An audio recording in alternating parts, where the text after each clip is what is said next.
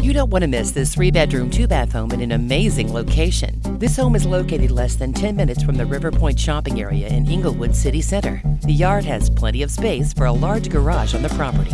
Sandy Swan says this home is a gem that needs a personal touch and a bit of polishing. Call now to schedule your private tour.